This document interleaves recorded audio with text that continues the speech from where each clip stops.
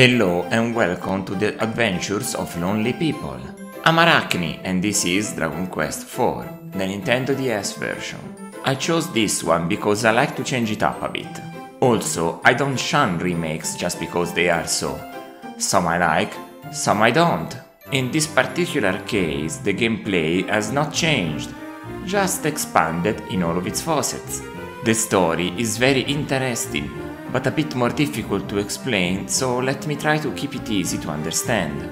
You can choose between a hero or heroine, and in the prologue, they will be shown to be living a sheltered life.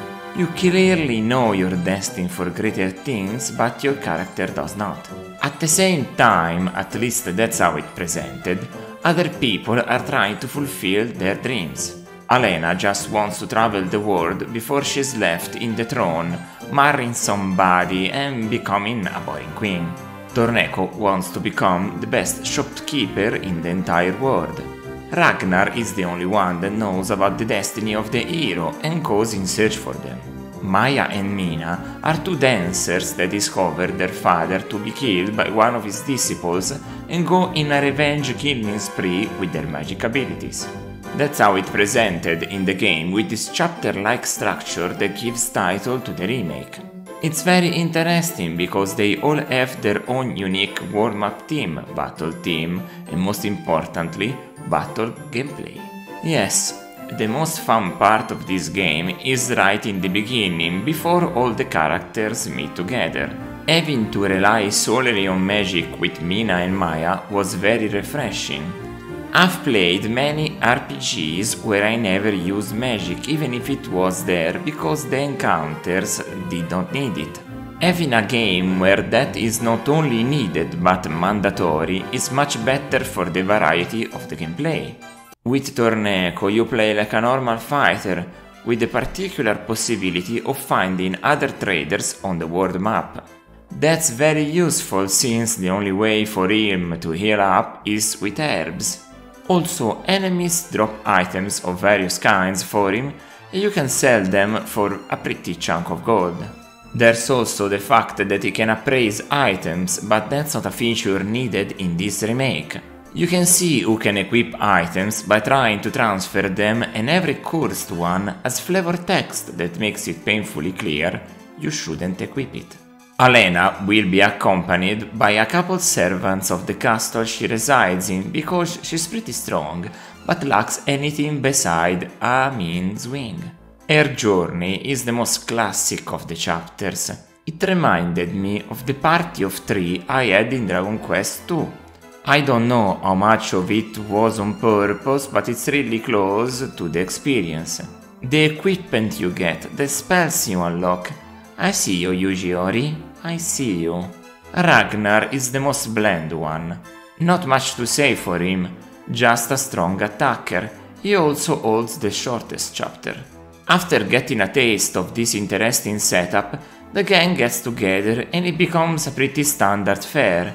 The hero or heroine discovers who they truly are and goes around until finding everybody and there we go, fight the big baddie. I would be fine with it if not for their tentative or trying to redeem the genocidal monster, Psaro the Manslayer. In the original it was better. His story, yes, it's expanded here with some nice flourish, but it's in the post-game that we get his redemption story. I refused to play it when word of this useless drivel came to my mind. I don't care about this sort of stuff. I stopped watching Naruto when Orochimaru was made friendly, or Dragon Ball when Frieza was made ally. I could list 300 examples of this boring trope. It was much more interesting when the villain was a human instead of some generic demon. Other than this, my only major problem is in the difficulty spike they decided to put at the tower to Zenithia. Every enemy there can duplicate, revive, or completely heal up, they are harder than the enemies in the very Variant dungeon. This part forced me to go back and grind for a good amount of time. There is a spot in the city before the tower where you can grind for some King Metal slimes and that's the only way to do it. They give more than 30,000 experience points each. and that's a whole lot. You'll need to bring all your selected party members up to level 45. It won't be easy still, but you'll be able to finish the game. Other game guides lie. Level 45 is the way you wanna finish it. The final boss has 7 phases after all. Yeah, it's quite a bit. I like the flavored text. Trust me, you don't wanna play the original Japanese translation on the NES. This game has a lot more dialogue compared to the previous three, and the generic medieval speak is dreadful. My favorite is the Russian accent. A lot of actual words from the language are thrown in there that I had lots of fun voice acting during my streams of the game. It might be because I played the first two Metro games on my own and I had a lot of fun listening to all the different accents that the language can have.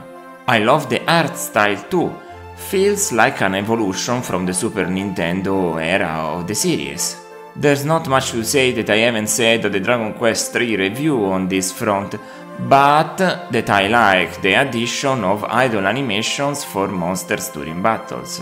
I don't know if this gets fixed on the subsequent DS games, but I was always absolutely stunned how the game lags in every city or dungeon that has water in it.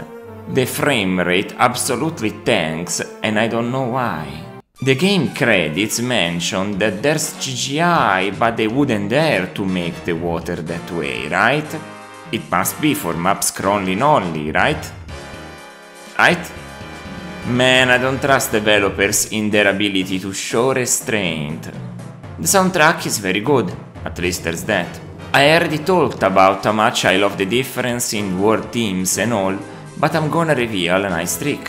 Most people are gonna keep the hero or heroine in front of the party, but even after you get all together, you retain the music. Just change the person number one in the lineup and it will automatically select the war team and battle team you like the most. An incredible feature. I don't know if it's in any other game. Tell me if it is. I'm curious about it. To conclude this whole spotlight, I cannot give Dragon Quest IV more than a 7.5 out of 10. The very strong start doesn't make up for all my gripes with it.